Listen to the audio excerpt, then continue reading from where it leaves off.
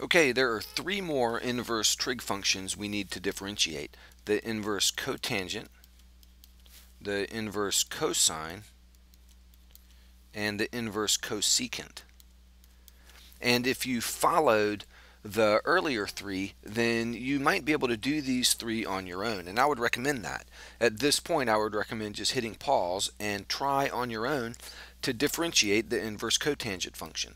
The process will be very similar to the one we did with the inverse tangent and try to differentiate the inverse cosine and that process will look a lot like the one we did when we uh, differentiated inverse sine and the derivative of inverse cosecant will be very similar to the derivative of the inverse secant. So try all three of those and then come back to this video and I'll show you the, um, the, the derivations that I've worked out. Okay, here we go inverse cotangent. Find the derivative of the inverse cotangent of x. So we write it like this. We say y equals the inverse cotangent of x, and then we take the cotangent of each side. So we have cotangent of y equals x, and then we differentiate implicitly. The derivative of cotangent is negative cosecant squared. So we have negative cosecant squared y times y primed by the chain rule equals 1. Then we solve this for y primed, and so y primed is negative 1 over cosecant squared y, and then we use a trig identity. Cosecant squared y is 1 plus cotangent squared y.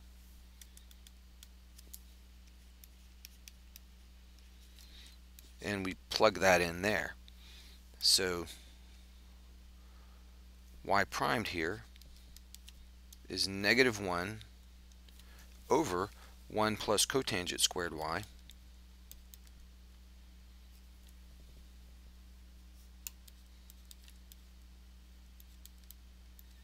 And remember that cotangent y is equal to x. So this right here is cotangent of y squared.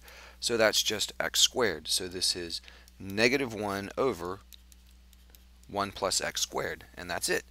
And so you could write with the, the standard notation the derivative with respect to x of the inverse cotangent of x is negative 1 over 1 plus x squared. And there you have it.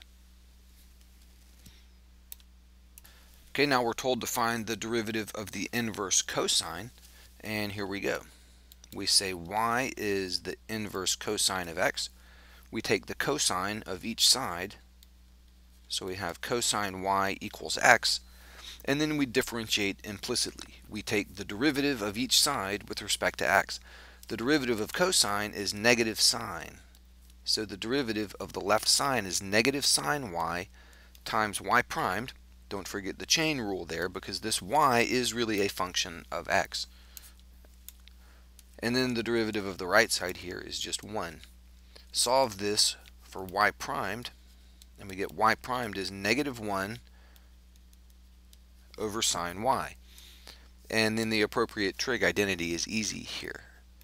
Cosine squared y plus sine squared y equals 1. Let's solve that for sine y. Sine y equals the square root of 1 minus cosine squared y. And let's plug that in right there. So we get y primed is negative 1 over the square root of 1 minus cosine squared y. And this right down here, that's cosine of y squared, and remember cosine of y is equal to x. So that is just x squared. So we have y primed is negative 1 over the square root of 1 minus x squared. So you can say the derivative with respect to x of the inverse cosine of x is, oh, that should be a negative sign right there, negative, negative 1 over the square root of 1 minus x squared. And find the derivative with respect to x of the inverse cosecant of x. Okay, so y is the inverse cosecant of x, and we want to find dy dx. So we take the cosecant of each side, and we get cosecant y is equal to x, and we differentiate implicitly. The derivative of the cosecant function is negative cosecant cotangent. So the left side becomes negative cosecant y times cotangent y times y primed by the chain rule and the right side the derivative of x is just 1 so we solve this for y primed and that's easy enough. Y primed is going to be negative 1 over cosecant y times cotangent y. And then the identity that we need to use is this. Cotangent squared y is equal to cosecant squared y minus 1. So solve that for cotangent y, and it's just the square root of this. So I'm going to plug that in right there. So y primed is negative 1 over cosecant y times the square root of cosecant squared y minus 1. Now remember that cosecant y right here is just x. So this is x, and this cosecant y squared, that's x squared. So let's just rewrite it that way. I'll leave that annotation there and just come on down y primed is negative 1 over x times the square root of x squared minus 1. And once again, we bring in the absolute value sign right here to make sure that in this case, it's always negative. We have a negative sign right here, but so the denominator will need to be positive. The, in other words, the same little trick we pulled with the absolute absolute value sign right there when we were differentiating the secant function applies here. And so y primed, the derivative is negative 1 over the absolute value of x times the square root of x squared minus 1.